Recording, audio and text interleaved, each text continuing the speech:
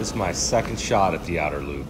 I mean, uh, last year I didn't get a chance to do it. Year before I did um, once, but the problem was uh, didn't have. I had some brake pad issues. I couldn't get the right brake pads. I ended up having to use some like high performance street pads that just weren't up to par. And uh, yeah, needless to say, it really affected me.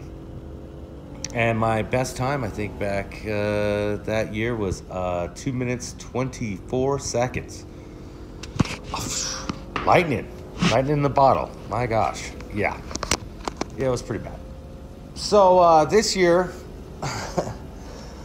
you think I would come out, you know, loaded for bear, but uh, nah, couldn't do it. First race the weekend, I didn't do nothing in the off season. This first race back, weekend back, and uh, normally I do Winter X events. I try to go somewhere, do a track day somewhere or something. But yeah, I did a whole lot of nothing, and um, it snowed so damn much too this winter. So, needless to say, is this my first time back? I had tires, brakes, I had all the whole. I'd been stocking up for winter, for this spring, and so I had everything.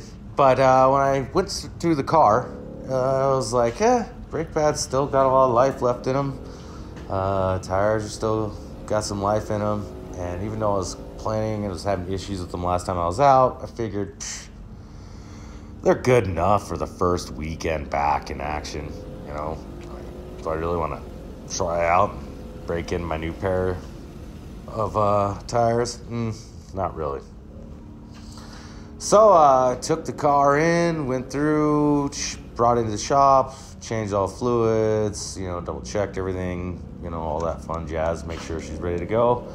And uh, pretty much was. And yeah, so it was on like Donkey Kong. Didn't change nothing. Same exact setup as last time I was there. And uh, certain things I noticed. It was a great day. Weather was perfect. 53 degrees was like the high. Sunny. It was great. Um, in the morning, it was cold. Left my house. Uh, really shocked about one thing that kind of took me off guard, and that was I blew the tires off my. like I would hit the gas and uh, the tires would light up. Now these are Hankook uh, Ventus or TD Ventus uh, 221s or whatever. They're a track tire, very hard compound, the hardest compound actually they have, and uh, yeah, well, they don't like the cold, I guess a little bit. Uh, all the way to the track, I was like kind of timid because I was like, these things are just, I've never had it light up that easy um, by getting on the gas. And because of that little simple fact, I decided, well, instead of trying to get my front row spot, I think I'll just start mid pack, you know, take it easy, see what happens, let the tires warm up. And, and I ain't kidding you, I'm pulling onto the track and I hit third gear and I light the tires up again. And I'm like, oh my gosh, this is crazy.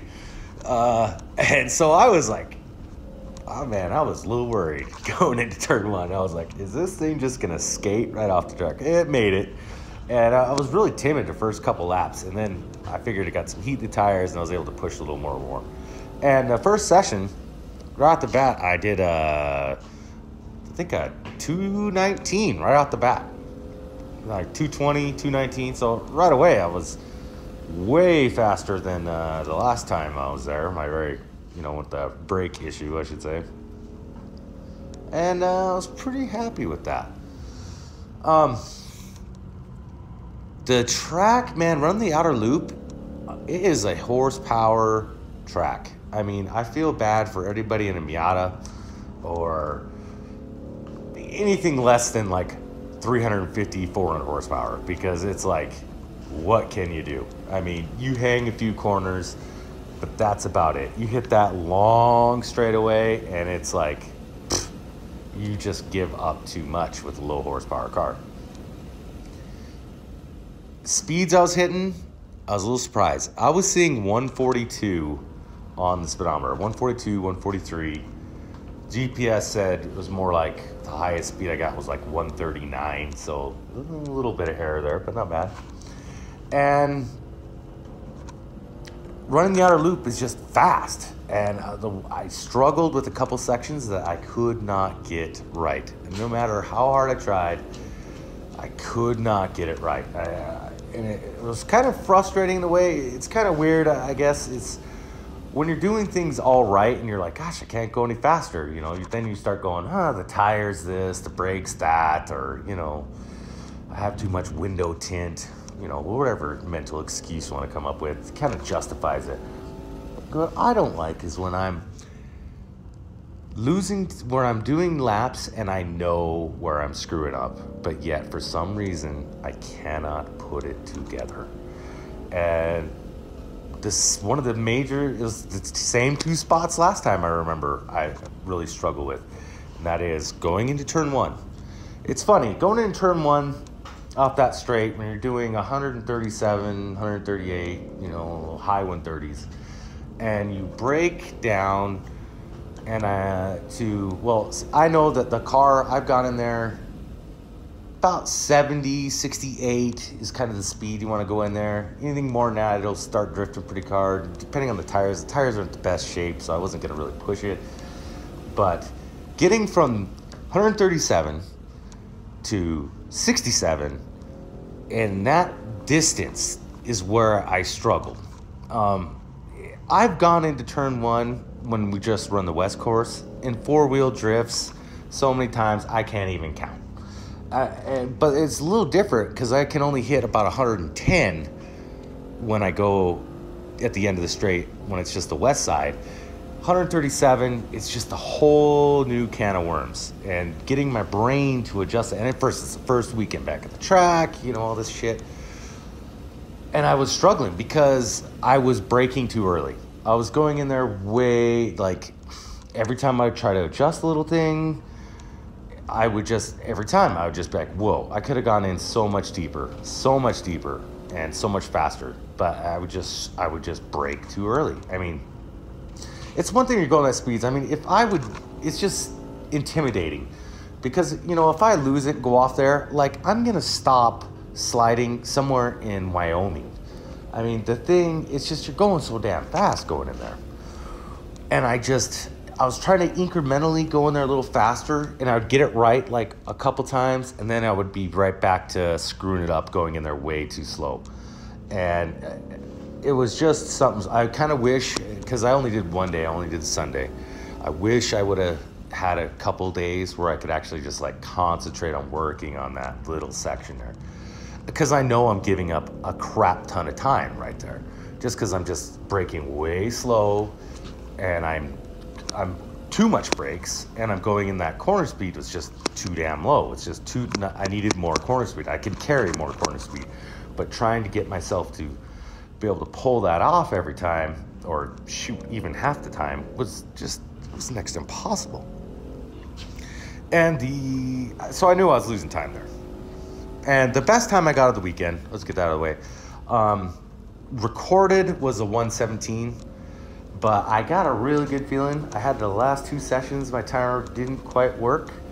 And I swear to God, because there were some things I got right that I, there was probably a 216 in there I really believe there's a 216 in there instead of just the 217, which I got in the ones I did record. But it, that was a massive improvement over the first time I went. 224 to 217, I mean, yeah, that's a difference.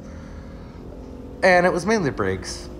Uh, tires were, even these tires worn out. Uh, I mean, they're track R comp tires, so I mean, they're probably still a little better than uh, the street tires I was running the first time. And but I, I just couldn't get that little section down. Um, now coming out of turn one and all the way back to the Black Rock hairpin, I had that dialed. Um, I was actually doing it pretty easily without brakes. Um, and on the throttle, like my speeds were pretty good. I was being able to carry enough quarter speed to get to close to like in the high teens for miles an hour on the back straight, and that and that's pretty impressive. If I can hit in the high teens mile an hour wise in the back straight, um, I know my times are gonna be pretty decent.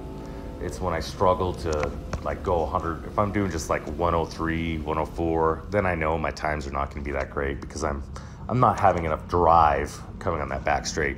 But I was doing good. I was getting that time. The second section I was screwing up horrifically was uh, where the west and east track combine, um, where you come down and you have a nice, fast, sweeping right hander, 80 something mile an hour right hander, hit the brakes and go into the attitudes left, right. I was trying to figure out what I could take that corner at. And that barrier that's off there, for some reason, was talking to me. And it, and it was calling my name, and I didn't really want to find it and hit it. Uh, so going into that turn, I was struggling big time. Like I was trying to, okay, I'll, I'll just back it off, let the brakes a little bit, going in there, try it 82. I think the fastest I recorded on my data was like 87 uh, that I went through there and it held. I was a little nervous, won't lie. But the problem also, besides getting that speed figured out right there, was braking for the attitudes. I was braking way too much for the attitudes. Um, I was looking at my speeds. They were in. It was I was hitting them from in the 50s to low 60s when I should be hitting the attitudes easily uh, in the high 60s, like 60 mile an hour. Like 60 is right there, 68, 67 ideally is what I should be entering them at. Um, and then accelerating through and out. And I, I, I was, ex- but coming off that high speed right hander, I was just braking way too much. And, and again, just like in turn one, I was having an issue with getting the timing down, the braking right, to catch the entrance, the attitudes, and come out. And yeah, as I said, uh, I needed more time with that. But I just, this is my second time, you know, it's only second time I ever had to deal with that kind of scenario. And it was just, was messing with me. I just could not get it. But besides that, uh, yeah, it was pretty good. Uh, everything else was working pretty good. Uh, the track was, you know, when you run the east and the west enough, you know, you kind of got things dialed in. It's just a matter of piecing them together and pulling down high 130s down the straightaway was decent enough. Um, I just wish I could get those two areas figured out, and I really think I could shave a, a significant amount of time off. Uh, I just, I just can see it big time. So, but all in all, it was a good weekend. Uh, the car just kicks ass and runs. Still 235 width tires, you know, doing those speeds. Yeah, can't can't complain in that regard. Um, but yeah, pretty much it. So all in all, it was a good weekend. Didn't crash, didn't lose it. Passed people. Um, not a lot of people in the in the class, and plus it's full track, so you got plenty of room. And yeah, it was all good. Can't really complain. That's it.